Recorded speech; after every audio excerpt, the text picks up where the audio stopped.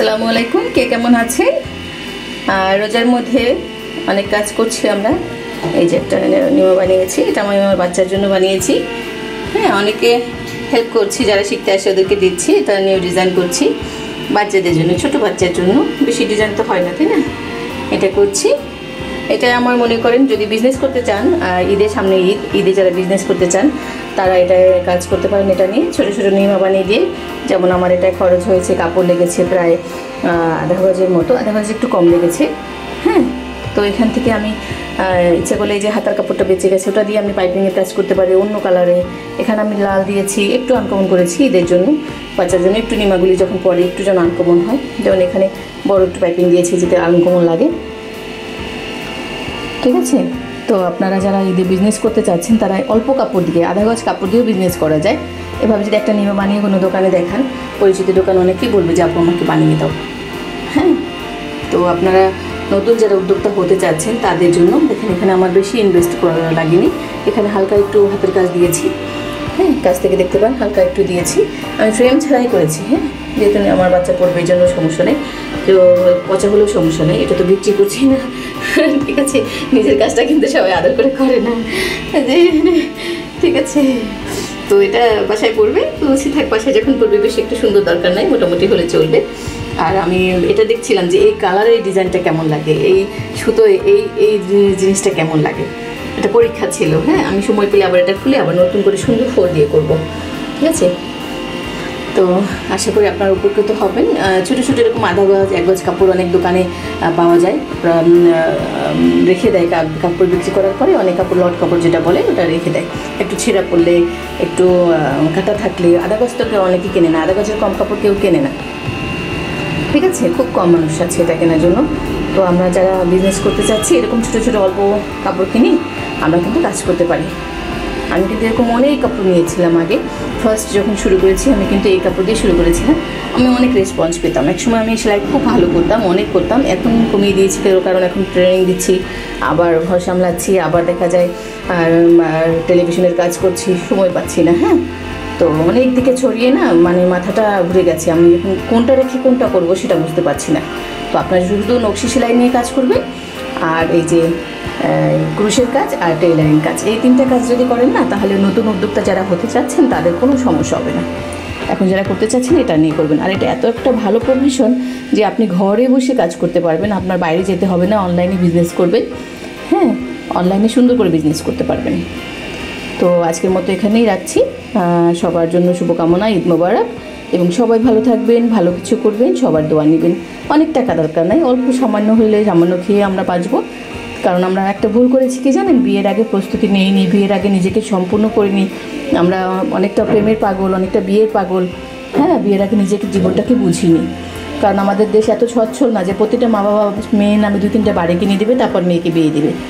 তো একটা মেয়েকে বিয়ের আগে নিজেকে তৈরি করতে হবে, এটাই আমার মূল মেসেজ যে আমি নিজের জীবন থেকে শিক্ষা পেয়েছি, অনেক কষ্ট পেয়েছি আমি।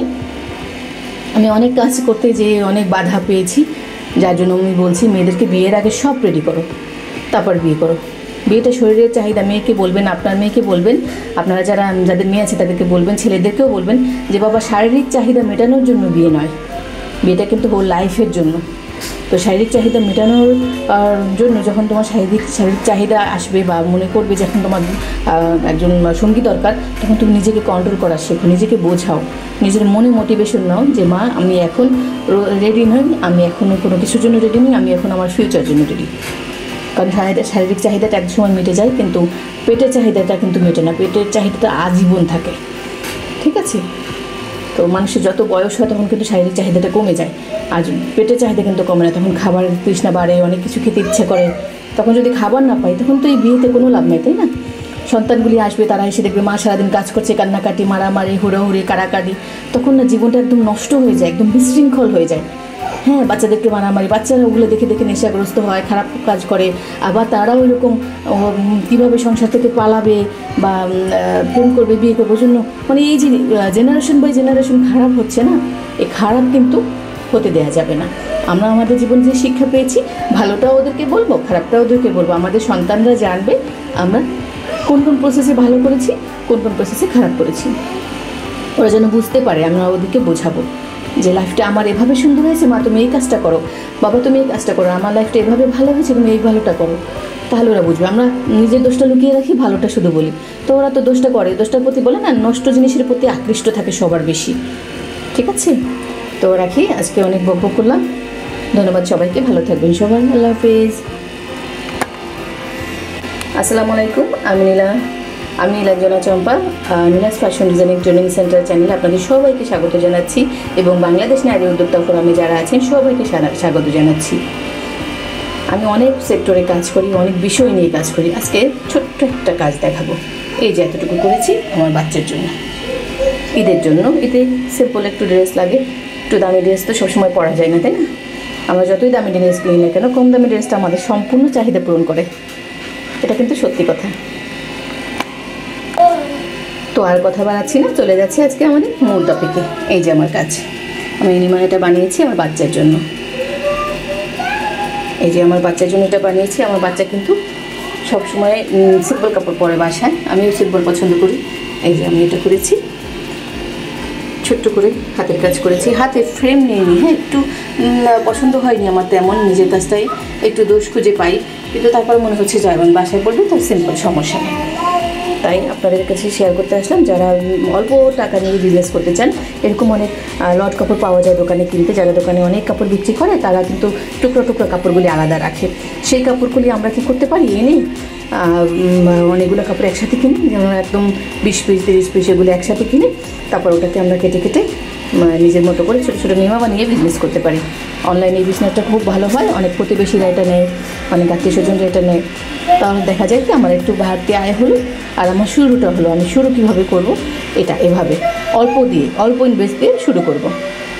ভালো ভালো ডিজাইন করে, নতুন নতুন ডিজাইন করে, যেমন এই নিমার মধ্যে এই ডিজাইনটা কেউই করেনি। আপনি খুঁজে দেখবেন অনলাইনেও দেখবেন, কেউ করেনি। আমি এটা করেছি। এটা একটা পাঞ্জাবি ডিজাইন এটা আমরা অনেক আগে করতাম। এখন আবার নতুন করে পুরোনো ডিজাইনগুলি চল বের হয়েছে। তো এখন আপনারা দেখতে পাচ্ছেন এখানে, আমি অল্প কাপড় দিয়ে, আধা গজের কম কাপড় দিয়ে এটা করেছি। এবং এটা খুব সুন্দর হয়েছে, সবাই বলছে। আমি চেষ্টা করছি এটা যেন বাসায় ঈদের সময় রাফ হিসেবে পড়াতে পারি। ঠিক আছে?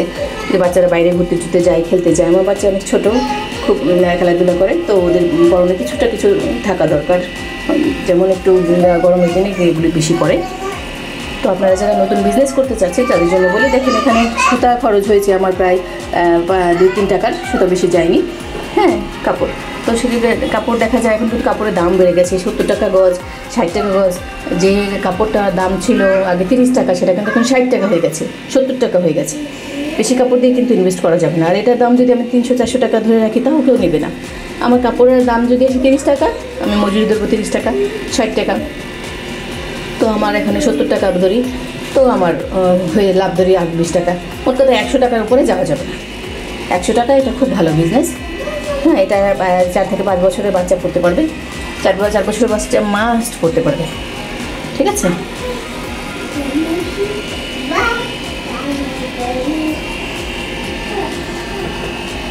এটা মাপটা দিলে ভালো হতো না। ফিতাটা দিতে পারো? আচ্ছা যাই হোক দিব নে। এখন আমি ফিতাটা থামিয়ে দিয়ে দিব নে মাপটা। এই যে এতটুকু বডি কতটুকু আসে, লম্বা কতটুকু আসে, তাহলে বুঝতে পারবে সবাই আসলে আমি কতটুকু বানিয়েছি। একশো টাকা ড্রেস এটা একশো টাকা করে ছেড়ে দেয় দেখবেন সবাই নেবে হ্যাঁ? সবাই নিতে চাইবে। যারা বোঝে, কাপড়ের মূল্য বোঝে, আমি এখানে কাপড়টা ভালো দিয়েছি হ্যাঁ? এখানে অরবিটটা দিয়েছি, আর সুতোটাও দিয়েছি ভালো হ্যাঁ? এটা উস্কো খুস্কো না, ওই যে উল সুতাগুলি না, যেগুলো একদম ভোলা জাগে ওগুলি না, এটা সিম্পল তো আশা করি আপনারা যারা বিজনেস করতে চাচ্ছেন, তারা এটা নিয়ে কাজ করতে পারেন। এই ছোটো ছোটো নিয়মা দিয়ে শুরু করতে পারেন। অল্প কাপড় দিয়ে শুরু করবেন। এরপর আস্তে আস্তে অন্যদিকে যাবেন। মানে কাপড়ের জগতেই থাকবেন। যদি কাজ করেন না, একটা সেক্টর নিয়ে কাজ করবেন। তবে কি আপনার সময় বাঁচবে আর আপনার মন ভালো থাকবে। অনেক দিকে এগোলে না, অনেক মানে আমাদের মতো হিজিবিজি, আমরা অনেক কাজ করি, অনেক দিকে না হিজিবিজি হয়ে গেছি। নিজেকে কন্ট্রোলে রাখতে পারি না। একটা কাজ করতে বলে আরেকটা কাজ পিছু টানে, ওটা মনে হয় করা ভালো। আবার ওটা ছেড়ে আরেকটা যাই ডাইভার্ট হয়ে যায়। তো আপনারা সেটা হবে না, যারা করবেন কাপড়ের বিজনেস শুধু এটাই লেগে থাকবেন। আর এই নকশি কাজ যারা করবেন, নকশি সুতার কাজ করবেন, তারা কখনোই বলে না ভাতে মরবেন না। তারা সবসময় জেগে থাকবেন, বেঁচে থাকবেন, কারণ কি এই কাজ আজীবন থাকবে। বাংলাদেশের সাংবাদিকতা আমাদের অনেক সময় বন্ধ হয়ে যেতে পারে কেন অ্যাভেলেবেল সাংবাদিক বের হয়ে যেতে পারে, নাটক, সিনেমা, গান অ্যাভেলেবেল মানুষ করতে পারে, কিন্তু এই হাতের কাজটা সবাই কিন্তু করতে পারে না। সবার হাতের ফিনিশিং কিন্তু হয় না, সবার হাতে সৌন্দর্যও হয় না। ঠিক আছে? তো আজকের মতো এখানে রাখছি। নীলাস ফ্যাশন ডিজাইনিং চ্যানেল আপনারা যারা কমেন্ট করছেন লাইক দিচ্ছেন শেয়ার করছেন, দেখছেন, জানছেন, সবার জন্য শুভকামনা, ঈদ মোবারক এবং সবাই ভালো থাকবেন। সুস্থ থাকবেন। আল্লাহ হাফেজ। চেয়েছিলাম থামনেলে দেবো হ্যাঁ? এটা আগে দিয়ে দিই। এই যে, এটা লম্বা কত আসছে মাপটানো আমরা ঠিক কাছ থেকে নেব। আর এই যে, এখানে আসছে, মাপ দেখেন। এই যে, সাড়ে তেরোর মতো আসছে। হুম। তেরোই যদি ধরি, তাহলে কিন্তু লম্বা কম নয় দেখুন, চার থেকে পাঁচ বছরের বাচ্চা সুন্দর করতে পারবে। আর এখানে বডি এই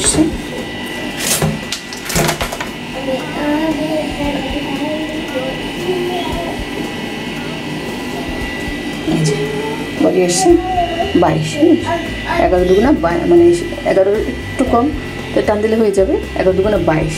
তাহলে বাইশ যদি হয় বডি তাহলে কিন্তু আপনার সব সব বাচ্চাই মনে এত বড় এর চেয়ে মোটা বাচ্চা মনে হয় কম আছে এই এতটুকু বয়সে। ঠিক আছে? তো আপনারা যারা এই ছোট কাপড় দিয়ে বিজনেস করতে চাচ্ছেন, অল্প কাপড় দিয়ে বা অল্প ইনভেস দিয়ে, তাদের জন্য শুভকামনা। আর আমাদের একটা মেসেজ আমি সবসময় বলি, আমাদের বেশি কিছু দরকার নেই, অল্প কিছু দিয়ে বাঁচবো। কারণ আমাদের একটা জীবনে আমরা ভুল করেছি, আমরা আহ, বিয়ের আগে প্রস্তুতি না নিয়ে বিয়ে করেছি ভালোবাসা প্রেম এইসব বিশ্বাস করে তাড়াতাড়ি করে বিয়ে করে ফেলেছি। হাজবেন্ড আমাদেরকে দেখবে খাওয়াবে। কিন্তু এখন না দিনটা বদলে গেছে। এখন হাজবেন্ডরা বেশি একটা দেখে না। কারণ তারা নিজের চাহিদা নিয়ে সবসময় ব্যস্ত থাকে। আর এখন সংসারগুলি না ভালো থেকে না আমাদের সবার। তো এখানে আমাদের প্রস্তুতি নিতে হবে। বিয়ের আগে মেয়েদেরকে বলবেন আপনাদের যাদের মেয়ে আছে বিশেষ করে ছেলেদেরকে তো বলবেন। মেয়েদেরকে বেশি বলবেন যে বাবা বিয়ের আগে ভালো করে প্রস্তুতি নাও। তোমার জীবনটাকে সুন্দর করে সব রকম কাজ শিখে সাজাও। অন্যের ছেলে তোমাকে বেশি দিন খাওয়াবে না। বিনা সাথে খাওয়াবে না। ঠিক আছে? হয়তো কোনো একটা শারীরিক সমস্যা দেখে তোমাকে বাদ দিয়ে দিবে, নানা রকম দোষ দোষে তোমাকে বাদ দিয়ে দেবে, অন্য কাউকে ভালো লাগতে পারে বাদ দিয়ে দেবে, তখন তুমি কি করবে? তার মানে তুমি নানা রকম কাজ শিখে নিজেকে দক্ষ করো। আমাদের গরিব দেশ, এখানে কিন্তু ইচ্ছে করলে আমরা কোটি টাকা দিয়ে মেয়েদের জন্য, মেয়ের জন্য ব্যাংকে জমা রাখতে পারি না, কোটি টাকা দিয়ে বাড়ি করে দিতে পারি না, সবাই কিন্তু আমরা গরিব। তো দেখা যায় আমাদের নেক্সট জেনারেশন যারা আসবে, আমাদের মতো এরকম খামছা খামছি সংসার দেখে দেখে তারাও কিন্তু এই খামছা খামছি করাই শিখবে। তারাও তাতে দেখবে মা বাবার মধ্যে দ্বন্দ্ব চলছে মা বাবা কামাই করবে, কে খাওয়াবে, কে দেখে দেখে তারাও একজনের প্রেমে পড়বে, তারা বিয়ে করবে, ওই সংসারে আবার সেই বাচ্চা হবে, সে আবার ঝগড়াঝাটি, সেই মারামারি কাটাকাটি, আবার সেই সংসার ভাঙবে। এভাবে নেক্সট বাই নেক্সট বা জেনারেশনগুলি আমাদের এরকম নষ্ট হচ্ছে। ঠিক আছে? তো আমি আমার জীবন দিয়ে যা শিক্ষা পাচ্ছি, সবাইকে বলছি, ভাই, কোনো স্বামীর ভরসা নাই, কোনো মা বাবার কারও ভরসা নাই, তুমি নিজের পায়ে যতক্ষণ যখন তোমার বয়স আট বছর, তুমি বুঝো তুমি কি করবে? তোমাকে কাজ শিখে নানা রকম কাজ শিখে তোমাকে স্বাবলম্বী হতে হবে ছোট্টবেলা থেকেই মা বাবার ঘরে থেকেই। এবং বিয়ের পরে কাজ করবে না। বিয়ের পরে কাজ কম করবে, কারণ তখন বাচ্চা সংসার সামলাবে। বিয়ের আগে অনেক কাজ করো, ঘুরো না, ফিরো না, আড্ডা দেওয়া না। এগুলি আপনাদের মেয়েদেরকে বোঝাবেন, বিশেষ করে মেয়েদেরকে বোঝাবেন। ছেলেদেরকেও বোঝাবেন কারণ ছেলেরা একটু বোঝে, ওদের ব্রেন আল্লাহ দিয়ে দিয়েছে। ওরা জানে যে আমাকে ফিউচার কামাই করে সবাইকে খাওয়াতে হবে। মেয়েরা বুঝে, আমি অন্যের উপর নির্ভরশীল, স্বামী আমাকে কামাই করে খাওয়াবে। সেই জন্য তারা কিছু করতে চায় না। কোনো রকম বিয়েটা করলেই বাঁচি হ্যাঁ নাইনটিনে পড়া মেয়েগুলি বিয়ের জন্য উশৃঙ্খল হয়ে গেছে এখন। তাড়াতাড়ি বিয়ে করব কখন? সংসারে যাব, অন্য সংসারে ঘরে বসে খাব। তখন দেখা যায় ওই পাটা সে তো আদর করবে না, দুদিন পরে অন্য মেয়ের পিছিয়ে করবে নাহলে অন্য বিয়ে করবে। তারপর সংসারে দ্বন্দ্ব, এটা, সেটা। তো এই জন্য মেয়েদের, মেয়েদেরকে স্বাবলম্বী করবেন।